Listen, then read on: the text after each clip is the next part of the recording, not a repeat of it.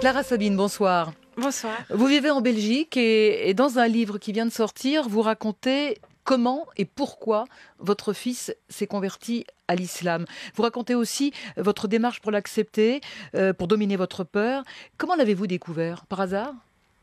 Oui, j'ai entendu du bruit et euh, je me suis rendu compte qu'il priait. C'était à 5 heures du matin, j'ai entendu du bruit dans la maison et instinctivement, tout d'un coup, j'ai pensé qu'il s'était réveillé pour prier. Je ne sais pas pourquoi. Vous avez tout de suite pensé à ça J'avais aucune idée avant.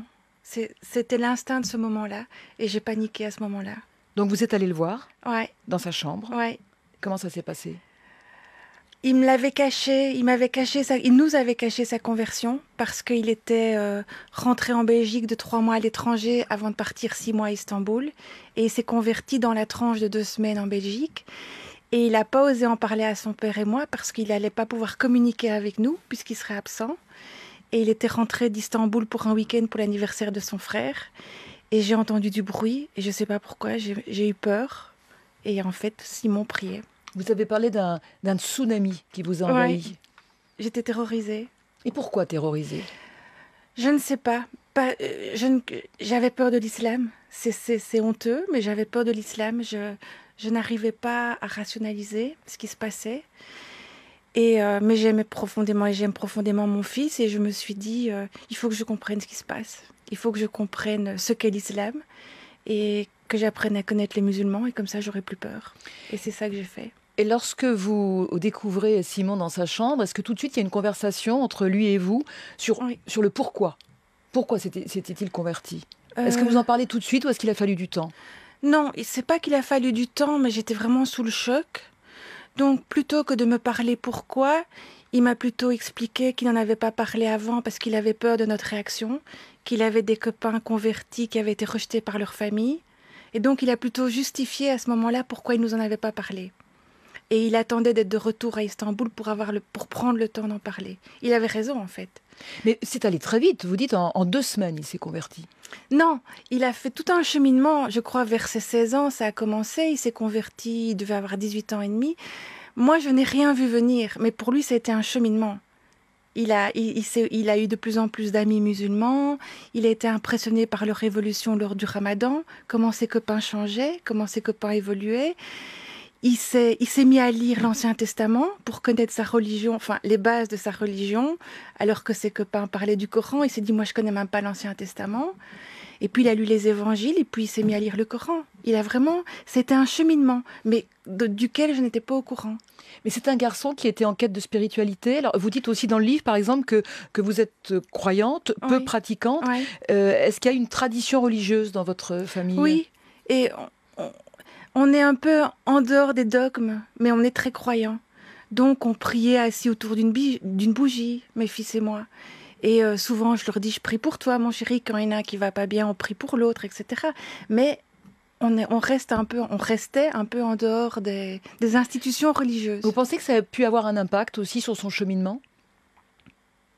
Sur cette volonté, cette quête de, spiritualité ou d'une religion peut-être plus, plus profonde, avec euh, une, vraie volonté de, bah, de, s'engager Je crois que ce qu'il a trouvé dans l'islam, c'est un cadre, c'est une communauté qui pratique ensemble, c'est une solidarité. Les gens, la solidarité pendant le ramadan, la, charité, l'aide aux associations, etc.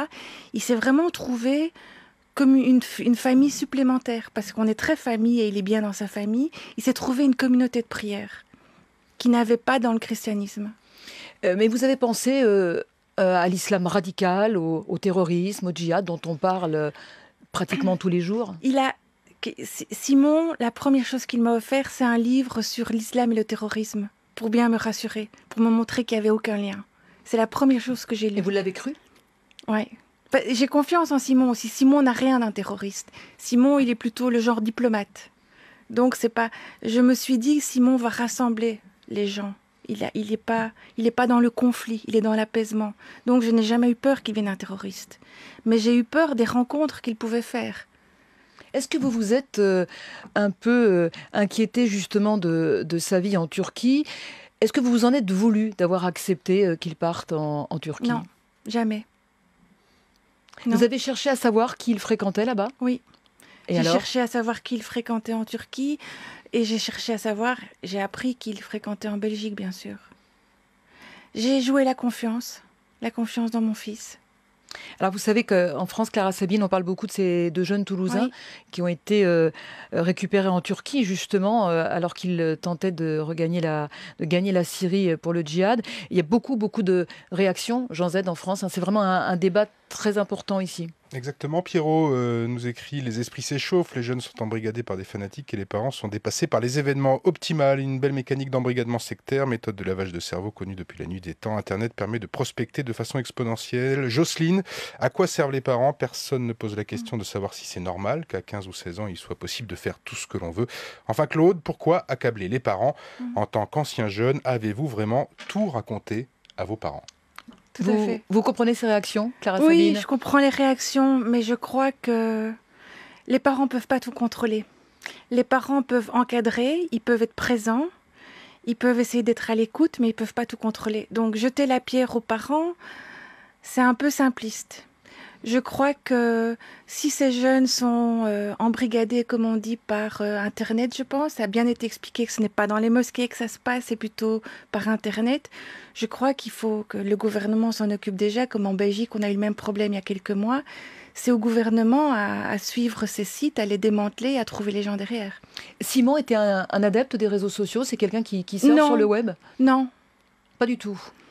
Mais j'en sais rien. Je suppose que oui. Je... C'est pas un abruti qui n'utilise pas l'ordinateur, mais je ne sais pas. Mais vous êtes euh, allé chercher, par exemple, vous avez essayé de, euh, bah, j'allais dire, de, l'espionner en quelque sorte pour mieux comprendre. Non, il n'y a pas eu besoin. Non, j'ai pas espionné Simon. J'ai discuté avec Simon. Il m'a expliqué son cheminement spirituel. Ce qui m'a aidé, c'est que je crois moi en Dieu. Donc pour moi, c'est un changement de religion, mais c'est le même Dieu. Finalement, c'est pas un grand pas. Euh, quand on y pense, c'est pas quelque chose de terrible. Il m'explique le prophète est venu après Jésus, 600 ans après. C'est juste une progression dans ma foi. Pour les parents qui ne croient pas en Dieu, c'est un pas gigantesque. Pour moi, c'est moins grand comme pas. Alors vous lui avez quand même demandé quelque chose. Hein. Vous lui avez dit euh, euh, ne te fais pas pousser la barbe, ne te laisse pas pousser la barbe. Oui, je ne voulais pas de, de signe extérieur. Je, comme je n'aimerais pas porter une croix, afficher une croix, ou pour moi la religion c'est quelque chose d'intime et de privé qui ne s'affiche pas. Mais bon, c'est ma façon de voir.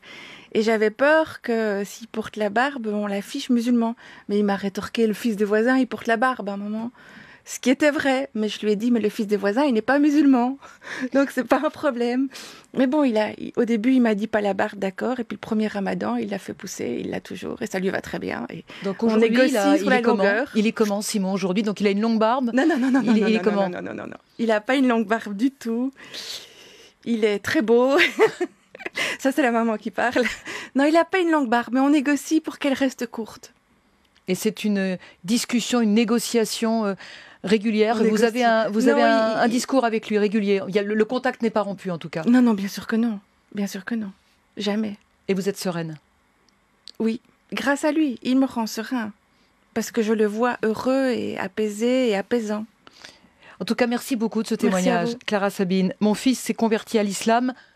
Même pas peur. Cette audition aux éditions La, boîte à, Pandore, et c'est un témoignage un peu différent de ce que l'on peut entendre justement de la part de, ses parents très, très inquiets euh, lorsque leurs enfants, euh, souvent via les réseaux sociaux, euh, se radicalisent jusqu'à parfois partir en Syrie. Merci à vous. à très bientôt. Au revoir. Au revoir.